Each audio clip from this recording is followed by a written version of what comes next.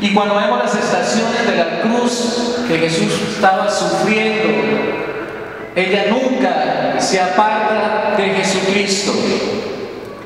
Siempre permanece fiel a su Hijo, a lo que Dios le había pedido. Me impresiona esa fidelidad tan apasionada, tan confiada, tan ciega, que no importaba lo que pasara, ella permanecía fiel a Jesús. Y decía, dice la palabra, que las palabras de Jesús ella las meditaba en lo profundo de su corazón. Debemos volver nosotros a colocar esa mirada en las manos del Señor. Debemos volver a colocar nuestra vida bajo la poderosa protección de Nuestra Señora.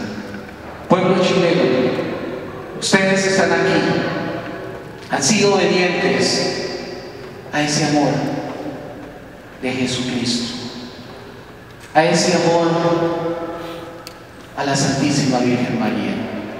Mi deseo para con ustedes es que lo que han recibido de sus papás, la herencia que han recibido de sus mamás, de amar a la Santísima Virgen María y de amar a la Iglesia, la pasen a las nuevas generaciones.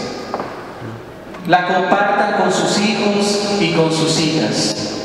Porque nada, ni nadie en este mundo vale más. Y eso es lo que ha hecho grande a su país.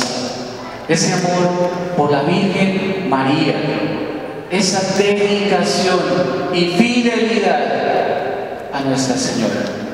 Que María Santísima, que ha inspirado la obra en cada uno de ustedes, la lleve a buen término.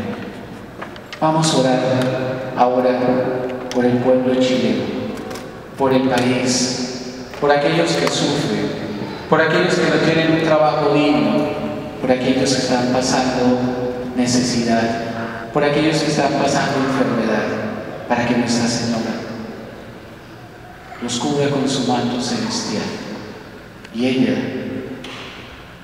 interceda por cada uno de ellos. Dios te salve María, llena